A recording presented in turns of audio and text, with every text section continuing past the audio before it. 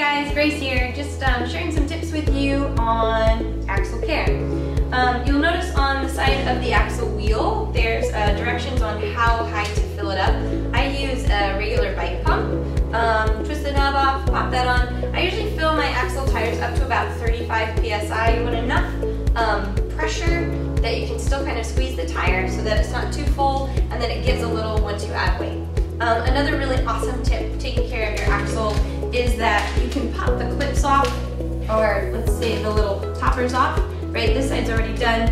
And here you're gonna see this little nut and you just wanna make sure that and whenever you're feeling like something's loose or, or maybe not working quite as well, check that and make sure that it's tight enough, tightened enough by your hand, right? Just, just a nice squeeze and once that's good, you can pop your cap back on and your barbell's good to go.